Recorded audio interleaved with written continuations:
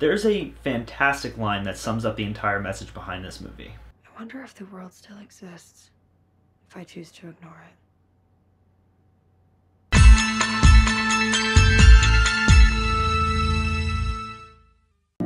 My name is Aubrey Parker, and I think I might be the last person left. Hello! Starfish is the directorial debut of A.T. White. It stars Virginia Gardner as Aubrey Parker, a young girl struggling to pick up the pieces after the death of her best friend. Oh, and also the world's coming to an end. I phrase that humorously, but honestly, that couldn't be further from the mood of this movie. Starfish is actually profoundly moving and honest for a film about extra dimensional monsters and world saving mixtapes. Like, I'm not even gonna sugarcoat it, I really do think this might end up being one of my favorites of the year. Funny story, I actually saw this movie back in March during its limited theatrical run, and I was able to absorb exactly none of it because the drunk couple next to me wouldn't shut the fuck up for the entire runtime. And that stopped me from being even slightly immersed in this world. And make no mistake, this is a film whose world you absolutely need to be pulled into. I was able to watch it last night in the comfort of my room with all my lights off, and let me tell you, I am so glad I did. This entire film centers around Aubrey coping with the death of her friend Grace and what that does to her view of the world and how she's supposed to move on after it. And honestly, the lo fi and oppressive sense of melancholy that this movie captures is probably one of the most honest filmic depictions of loss I've ever seen.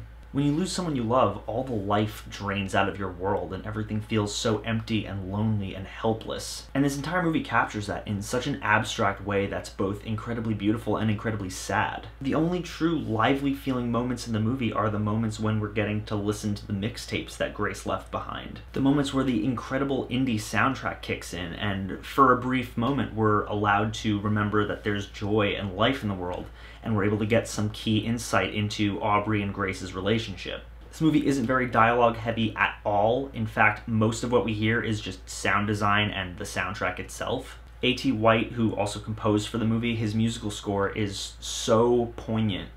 And when you combine it with Virginia Gardner's facial acting, it says so much without needing to say anything at all the mixtapes and the musical score here do more for the movie than dialogue ever could, and that's what makes this so damn impressive. This is by far the most adventurous directing debut I've ever seen. There's a full-on anime-style, gorgeously animated sequence in the middle of this movie that somehow feels completely at home with the rest of it. Like, the visuals here are simply absurd. It's not even fair how pretty this movie is. There's a specific scene involving a rather large creature that reminded me so much of Gareth Edwards' Monsters that I wanted to cry. Like, this movie is just so impeccably well shot that it's a work of art. Starfish doesn't waste its time explaining its somewhat convoluted plot to you, but it doesn't really need to. This is a movie that solely cares about pulling you into Aubrey's world and making you feel her emotions. It's less of a cohesive narrative and more a raw emotional journey. The entire story is a metaphor for finding purpose and using that purpose to heal after a traumatic loss. Aubrey feels guilty that she wasn't there for her friend as she was dying, and the entire movie is her coping and healing from that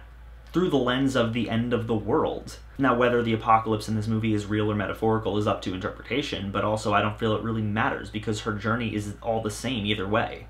There are certain elements in here that I don't fully understand, sure. For example, the character or concept of Edward. At one point, Aubrey admits to cheating on somebody, but it's not really clear who she's talking about. Did Aubrey cheat on Grace with Edward, or did she cheat on Edward with someone else? I would assume it's the former, because I got something of a romantic vibe from the girls, and the content of the mixtapes definitely paints the love as something more romantic than platonic. But again, I don't really feel that that explanation would have changed too much for me, because in the end, loss is loss. It doesn't matter the relationship to the person. If someone you love dies, it's going to be painful all the same. The one thing that I'm sure will turn some people off to this movie is the pacing because this movie is slow, but it's very deliberate. White doesn't care about unfolding an action-packed story that gets right to the point. It's not about that. It's about the experience. It's about being fully immersed in Aubrey's world. And on that level, the movie succeeds in spades. I'm to say that Starfish is absolutely a must-see. It's a beautiful metaphorical film about grief and how we cope with it and put ourselves back together, kind of like seven pieces of a mixtape that are necessary to save the world.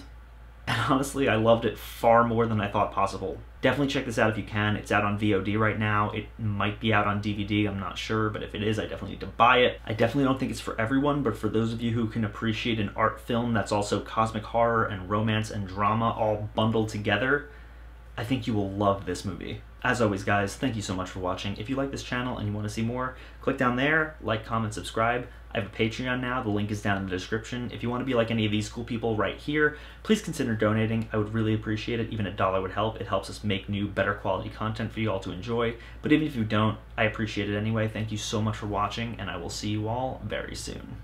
People are gonna die anyways, but their stories don't have to.